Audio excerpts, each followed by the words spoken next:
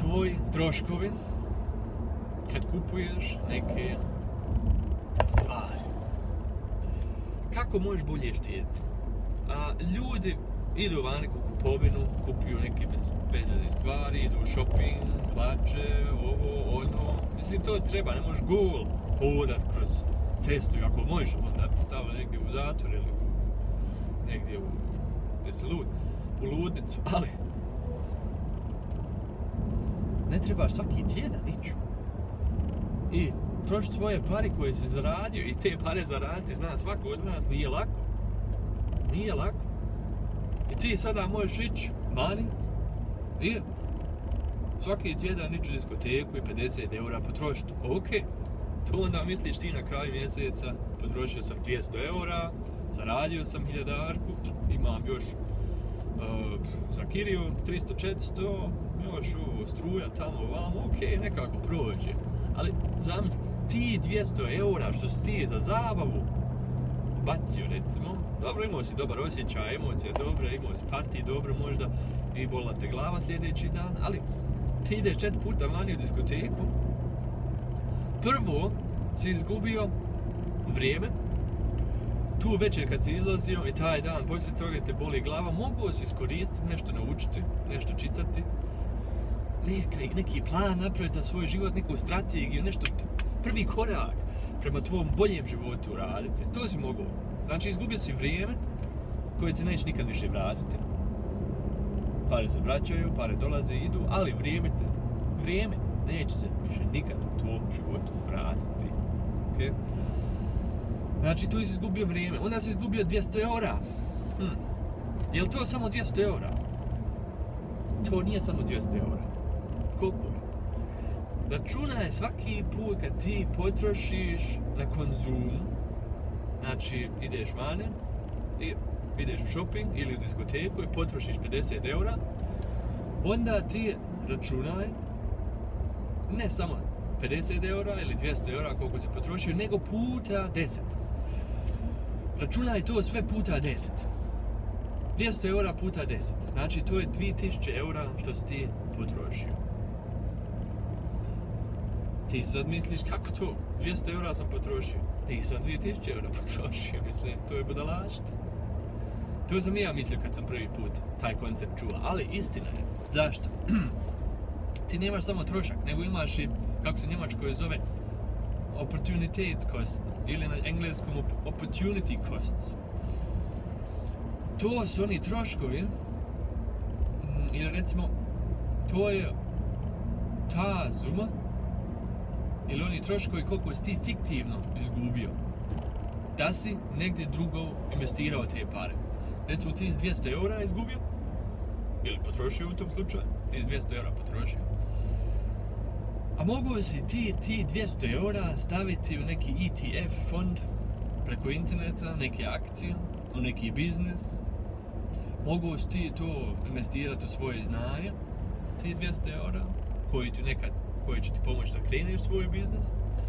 A, prvi korak u tvom biznisu napraviti, ili neki materijal, ili neku web stranicu, malu, malu web stranicu, neki servis, da prvi korak uradiš, i ti 200 eura su jedan put, ne samo 200 eura, nego kad gledaš ti 200 eura sljedeći 20 godina, mogao si od ti 200 eura napraviti 2000 eura. Mogao si krenuti sa svojim biznisom, mogao si investirati u akcije, mogao si investirati u ETFs, ima tu različitih modela, dugoročne investicije i ta dugoročna investicija bi ti mogla vratiti ne samo 200 eura, nego 2000 eura poslije 20 godina. I to je realistično. Ima jedan slučaj, nije to samo pojedinač, jedinačan slučaj, nego ima stvarno dosta, dosta, dosta ljudi. I ja tu investiram u ETFs, u te akcije. I jedan je bio, vozio poštu. Evo da vam ispričam tu priču kratko pošto je on izvozio cijeli život. Nije znači zaradio nešto puno sa time, ali on je, kad mu je bilo 27, on je stavio 20.000 eura, ono što je sve uštedio, u ETF fond. Ko ne zna šta je ETF, nek samo utrka na Google šta je ETF fond. Um, I onda ti 20.000 eura stavi u taj fond i svake godine nešto malo što je uštedio, eto recimo nije izlazio vani, onda toliko, recimo izlaz, nije čet puta izlazio, nego dva puta izlazio, onda je 100 eura mogao staviti u taj fond. I tako je preko 40 godina on to stavio u to, imao je tu bazu 20.000 dolara i stavio je koliko imao, nekad koliko štedio, dalje u to. To je taj fond, ono diversificira, to nije samo stavio na jedan biznis, nego na dosta. I to mu je kamate davalo svake godine, svake godine. I čovjek je imao na kraju, kad mu bilo 64 godine, 65, 1,3 milijune dolara. I to je to. To je to.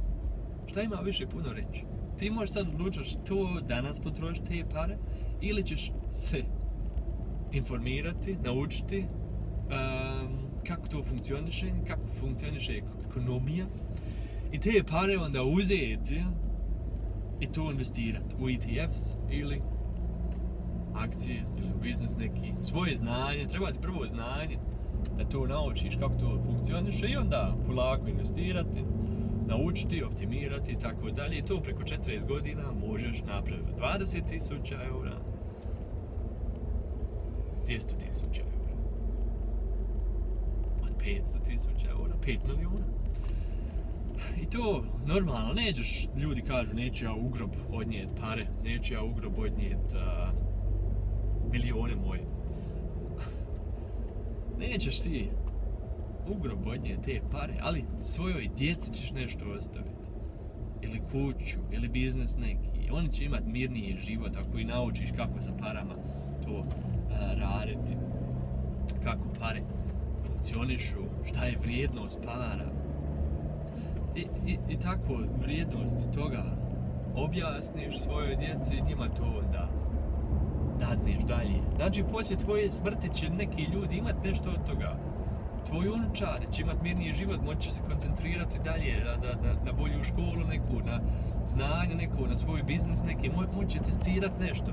I to znanje, ti sada u toj poziciji da to znanje dadneš dalje, naučiš tvoju djecu, djeca tvoja svoje djecu, da ti nešto zaradiš u ovom životu i da investiraš pametno, da nekretnine neke kupiš, tako dalje, da, da to naučiš i da može poslije tvoje smrti ostati to i dalje, da je generacija poslije tebe i generacija poslije te generacije ima mirniji život. I zato, ljudi moji, stalno računajte svoj konzum i svoj trošak puta 10 i onda ćeš se razmi pitati, ok, je li to stvarno toliko vrijedno ove hlače sada da ih kupim kad imam već 20 dio.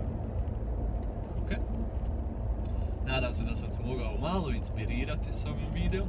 Ako imaš neki komentar, samo komentiraj dole. Ako nisi subscribe ovaj kanal, subscribe i mi ćemo se čuti češće iz auta, jer to je najbolje iz auta snimati kad sam na putu negdje tamo vamo, iskoristim vrijeme i tako nešto mogu što sam naučio dalje dati. Nadam se da se sviđa, mi se čujemo, vidimo uskoro.